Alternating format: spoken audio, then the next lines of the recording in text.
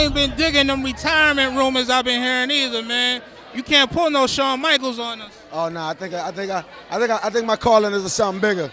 But we, I'm, I'm, I'm figuring that out. It's a process. Nah, we still want that music. I've been digging everything you've been putting out this year, man. Them, them, them, them nice little EPs, man. So you gotta you gotta stay in that ring, brother. Tell him, tell him, Zoey. You talking about retiring? Man. Uh, he one of my inspirations, so we not gonna let him do that. We love him too much. It's not happening.